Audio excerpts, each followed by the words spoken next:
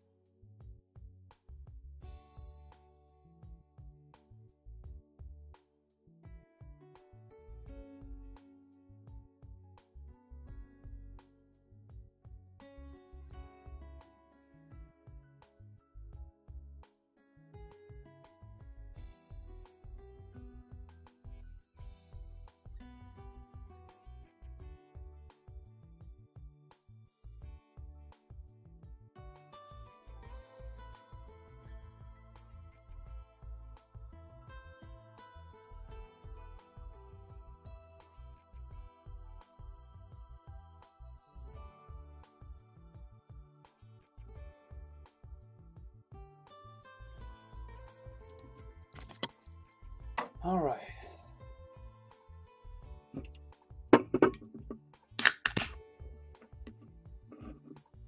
Good evening. How's everyone?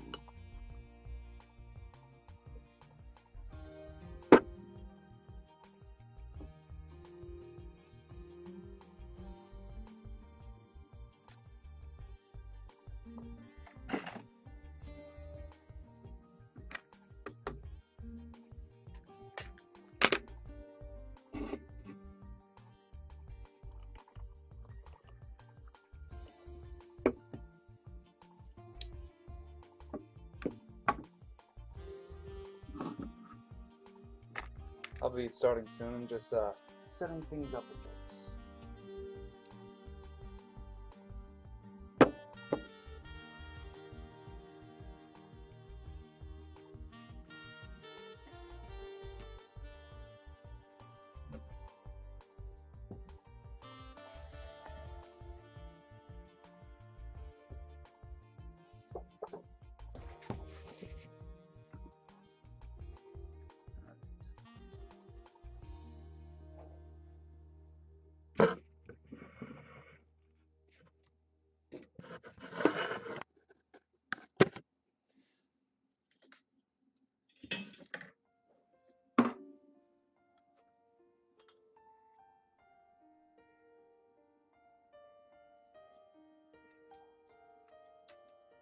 So I'm going to uh, be continuing a drawing that I started.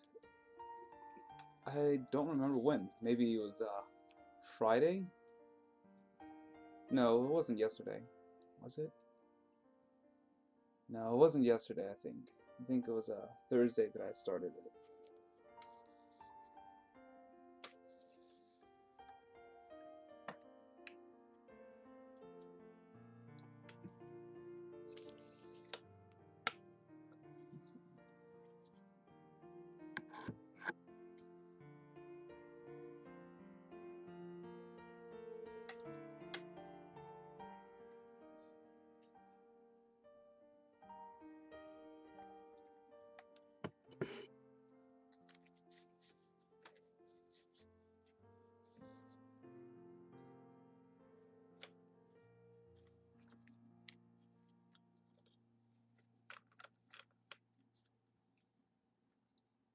Know, someday I'll uh, have a proper office to do this in. So I don't have to worry about being in cramped spaces and having uh, issues setting up good camera angles and lighting and all that. It'd be a lot easier if I had space.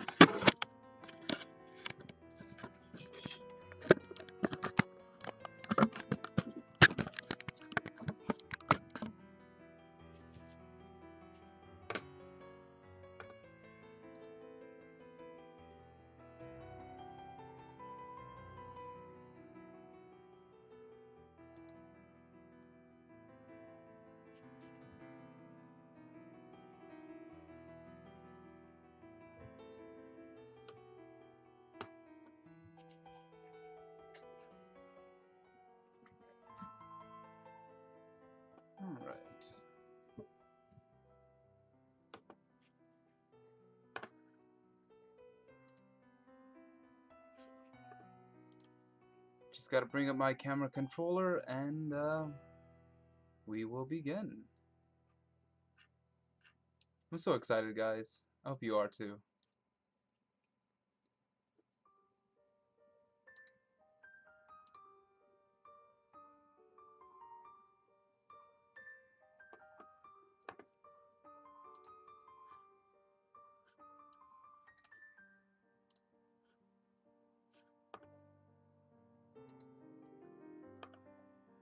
Let's. Did it save? Yes, it saved. Sweet. Sweet, sweet, sweet, sweet, sweet, sweet.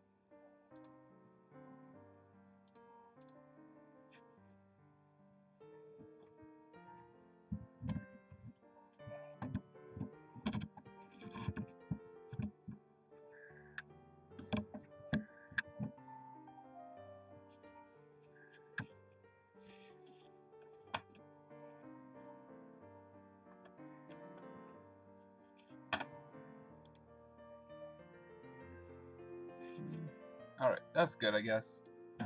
Alright, so yeah.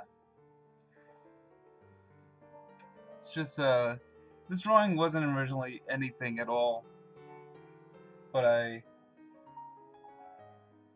started to have a better idea of what it would be the more I worked on it. And then I had to stop streaming because I had to go to work. And uh, so yeah, I was I had basically an entire day and a half to think about what I wanted to do with this, where I wanted to go with it.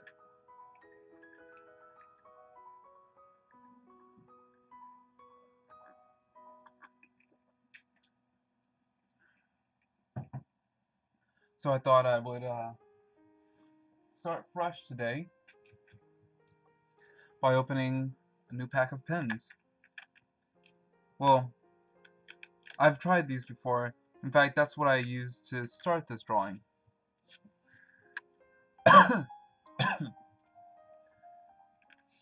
and uh, they're uh, this brand. Let's see, I don't know if it'll focus. Probably not. I don't think I have it set to autofocus. But anyway, they're uh, Staedtler, uh, 0.3 millimeter, and uh, it's just black ink. Let's see, I'll uh, read off the little bullet points for you. Ergonomic triangular barrel. Superfine metal-clad tip. Dry safe can be left uncapped for days without drying up. And water-based assorted ink colors. But it's not assorted, it's they're all black.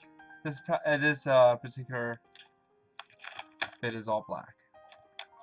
Anyway, I like these a lot. They actually are really comfortable. I like the way the uh, triangular barrel fits in my uh, fits between my fingers. So yeah.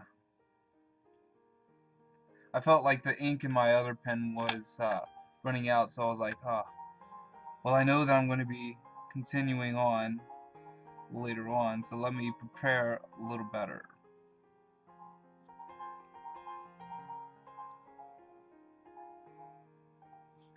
So yeah, I think uh, in a way, everything that we ever see or experience becomes part of our subconscious. and will eventually blossom forth later on in unexpected ways. For example, I thought this originally came out of nowhere, that I just created this from scratch, and uh, I was actually slightly mistaken. It was it did have inspiration, and that inspiration was from Magic the Gathering. So, I won't go into too much detail about it, but basically, there are these creatures known as kami, which is Japanese for God.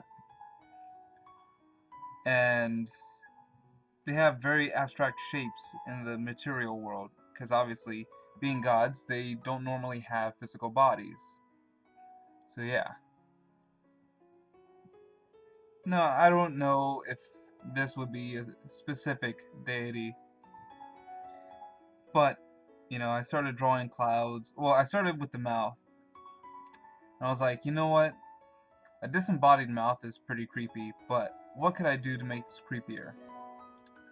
And then I was like, ah, got it. Hands. So I was like, alright, alright, alright. Disembodied hands. And a mouth. That's pretty creepy. Let me draw an eye, too. And sure enough, it started coming together, and I was like, oh, but I need something to help connect these things.